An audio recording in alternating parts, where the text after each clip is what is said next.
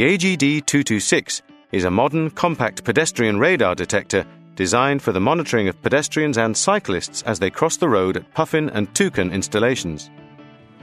Often used in conjunction with the AGD 640 digital curbside detector, the AGD 226 optimizes safety and efficiency for pedestrians and other road users.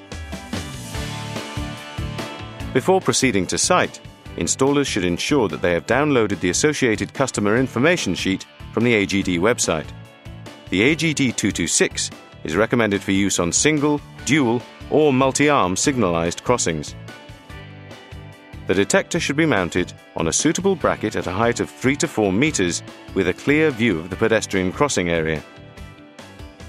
This view should not be impeded by the traffic signal head, associated bracketry, or overhanging foliage. Any obstruction should be removed or the detector repositioned. The fixing nut should then be lightly tightened. Connect the detector to power, at which point a red LED will flash five times. For some overseas installations, the detection, wiring, and power connection will be made via separate flying leads.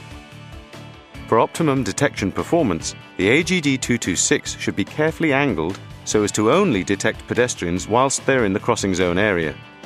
The walk test will confirm if the mounting angle is correct and can be monitored via the two detect LEDs. Once pedestrians have reached the opposite pavement, detection should cease. Any final adjustments to the mounting angle are completed, the fixing nut securely tightened, and the security of all cables checked. It is normal practice to have two opposite facing AGD 226 detectors installed per crossing to ensure optimum coverage. The unit has a number of switch settings which are accessed via a removable cap on the back of the detector. Switch options include standard or extended range, front detect LED on or off, and four different frequency channel selections.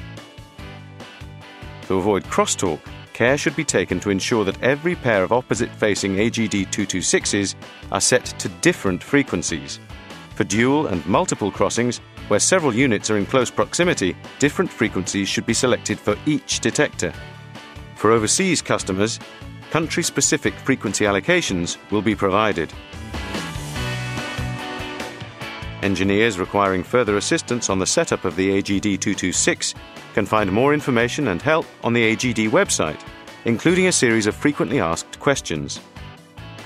The modern, compact AGD 226, a global technology solution for pedestrian on crossing detection.